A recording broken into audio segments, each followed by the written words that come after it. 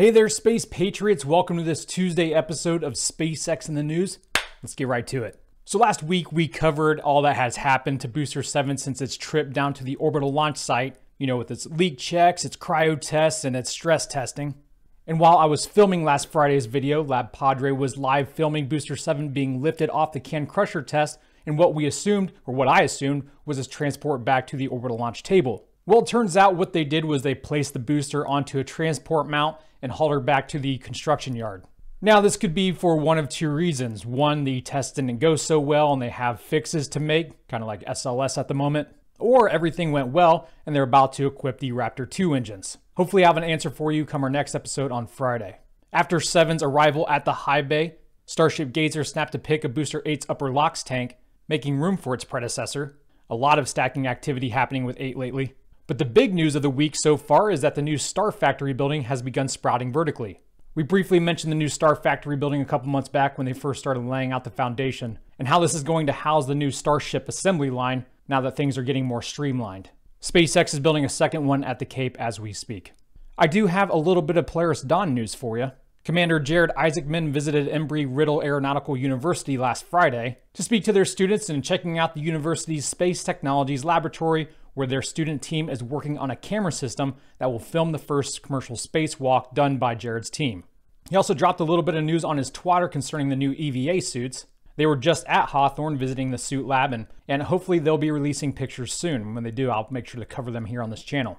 SpaceX is making great progress on the IVA to EVA transformation, new materials for durability, thermal and micrometeoroid and orbital debris, new joints for mobility, safety features, etc. On Easter Sunday, SpaceX launched the latest spy satellite for the National Reconnaissance Office, NROL 85. This is the first time that the government agency has reused a Falcon 9 booster. Its previous mission was NROL 87, and it lived to fly another day after successfully landing at Landing Zone 4 at Vandenberg Space Force Base, California. Elon tweeted that SpaceX's Falcon team is making great progress with their turnaround mission, aiming for a five day launch cadence with many performance and refurbishment improvements. You know, this mission marked the 114th successful landing of a Falcon 9 booster, and not only have a lot of private companies noticed the credibility that has led to a decrease in price, a lot of these government agencies, like NASA, has as well. This month, NASA moved their upcoming payload, the Surface Water and Ocean Topography Satellite, from a new Falcon 9 booster to a used one, which to me makes total sense because not only is it cheaper, I guess in this case for we the American taxpayers, but also which one is more worthy of your trust. A brand spanking new Falcon 9 rocket fresh out of the factory, or one that has launched at least one other time, has proven itself to work, you know, especially these days when the frontrunner boosters have launched up to 12 times. But the next Falcon launch is another Starlink mission, currently slated for April 21st, which is Thursday at 11:15 a.m. Eastern Time. This week, it was reported that SpaceX is working with commercial airlines to one day provide Starlink service to their customers in flight. Vice President Hofeller emphasized that they are currently going through the certifications needed to get their terminals known as antennas approved for a variety of aircraft. And all he said about these Starlink terminals or antennas is that they're a lot smaller and lighter than what you and I would purchase for our homes. On deck after Thursday's Starlink launch is Crew 4. SpaceX and NASA have rolled out the Falcon rocket with Dragon equipped to the launch pad. It's supposed to undergo a static fire tomorrow. Teams are proceeding toward a 5:26 a.m. Eastern Time liftoff this Saturday.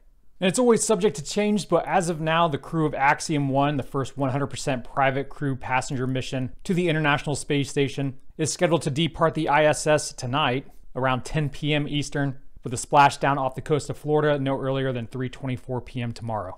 And now, a word from our sponsor, My Patriot Supply. If you've been paying attention to the news lately, or hell, if you've been doing any shopping whatsoever, you've noticed that inflation is up. Way up like setting records every month over the past couple of months. The economic experts are saying that inflation is over 9%. However, according to Shadow Stats, if the method used was the same as it was back in the 80s, inflation would actually be over 17%.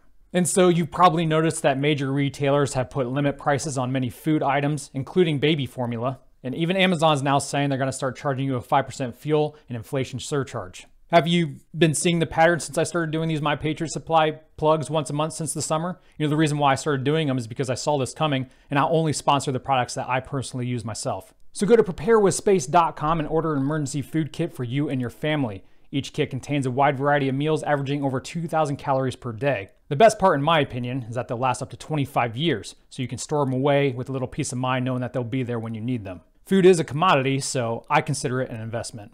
And right now, you can save $150 off a three month food kit. That's preparewithspace.com. Well, thank you so much for tuning in. Have a nominal work week. And until next time, Godspeed.